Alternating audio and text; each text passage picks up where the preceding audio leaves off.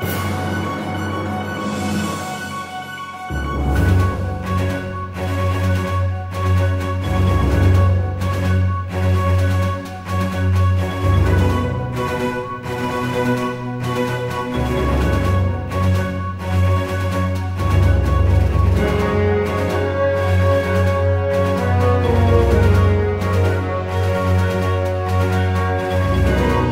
good hair transplant surgeon. First of all, you need to look at the doctor's experience. They need to have a good team. You need to look at the results they've produced in the past and of course the credentials. So for me, I trusted Dr. Arambulo because she, out of all the hair transplant surgeons in the Philippines, is the only one who is a diplomate on the American Board of Hair Restoration Surgery. He alone has had the most experience of hair transplant in the Philippines. So the message here is a board certified, as a board certified dermatologist, when you see patients after this, uh, um, after our postgraduate course, is you complete the recommendation. Sali naman nyo yung hair transplantation para hindi na sila mag-research. Because through a good procedure, uh, we can, uh, the natural hairline um, and hair transplant is a permanent result uh, that can be achieved. And this will uh, increase again, bring back the confidence in this patient. So hair restoration can be uh, a life-changing procedure. So just to show you the different concerns of, uh, in male with androgenic alopecia, all are, these are my patients and they had uh, hair transplantation as well as in women. These are just some of the concerns.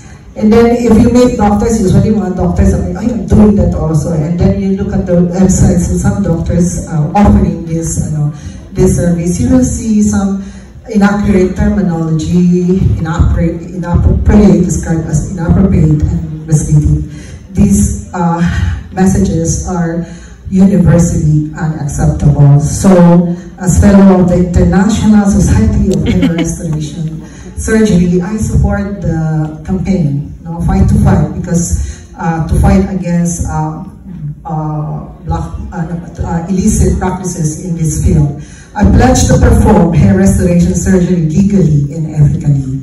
Since donor supply is limited, especially in young patients, proper scalp assessment and careful planning are important to reach the beneficial aesthetic result as in this patient. On this video, we are featuring follicular unit extraction or FUE in the Philippines.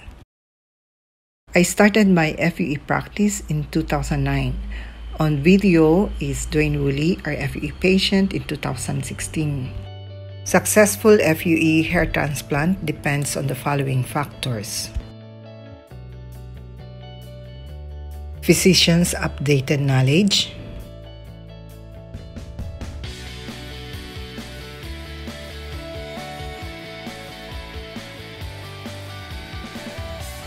FUE physician providers talent and skills.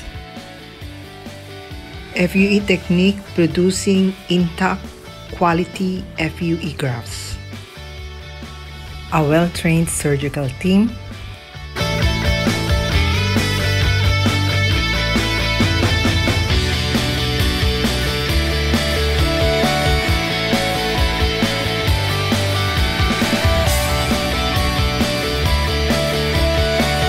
And most important of all, when you see your hair start growing, you know the procedure is successful.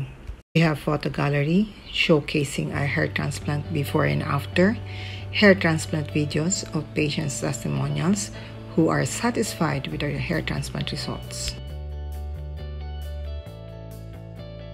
Body hair transplant, on the other hand, is the most advanced FUE hair transplant procedure and this is for those who want additional volume after scalp hair transplantation. This is Dwaine's testimonial after FUE procedures. Dr. Arambulo has produced an amazing result with my hair and I'm a living testimony of her work. I'm super happy with the result. When I was younger, I was losing my hair. I got really depressed about it. I never thought I could get it back, but because of Dr. Arambulo and her team, I have a full head of hair again.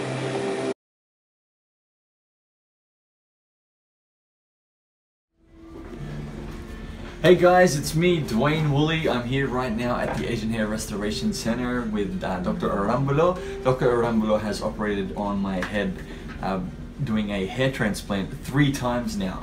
So now I've got a full head of hair because of her. Before it was it was gross, now it's complete and I'm super happy about it. So thank you very much Dr. Arambulo for all your help and your expertise.